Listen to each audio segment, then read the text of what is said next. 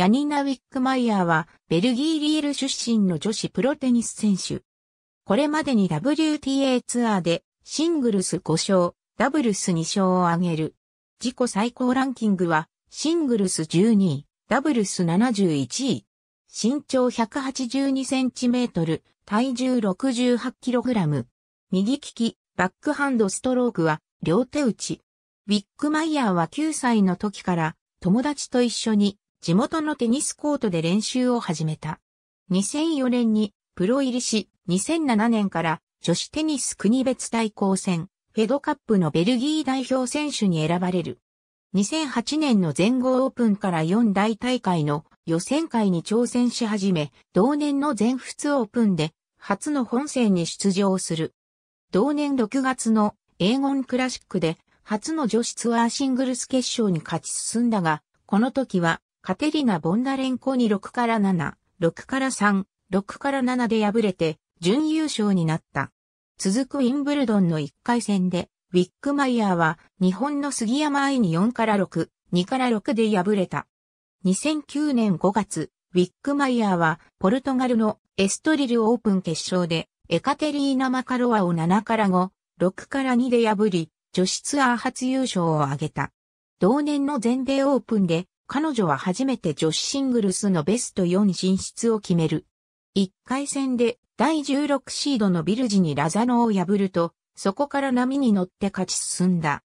初めての準決勝では、第9シードのキャロライン・ウォズニアッキに3から6、3から6で敗れた。この活躍により、ヤニナ・ウィックマイヤーのシングルスランキングは22位に急上昇した。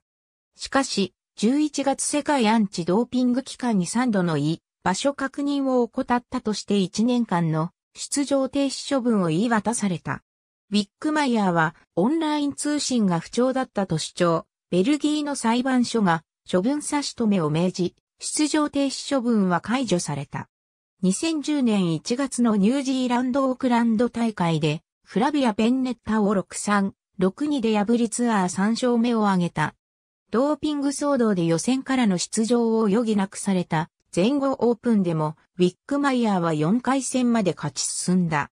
初進出の4回戦では、同じベルギーの先輩選手、ジュスティーヌ・エナンに6から7、6から1、3から6で敗れた。2011年は、オークランド大会の決勝で、グレタールに3-6、3-6で敗れ2連覇を逃した。ウィンブルドンでは初めてとなる4回戦に進出し、優勝したペトラ・クビトバに0から6、2から6で完敗した。2012年のロンドン五輪でオリンピックに初出場した。シングルス2回戦で、デンマークのキャロライン・ウォズニアッキに4から6、6-3、3から6で敗れた。2013年10月の BGL ルクセンブルクオープンでは、シュテファニー・フォークトと組んだダブルスで優勝し初のダブルスタイトルを獲得した。2015年9月のジャパン女子オープンテニスでは、決勝でマグダリネッテを4から6、6-3、6から3で破り5年ぶりのツアー4勝目を挙げた。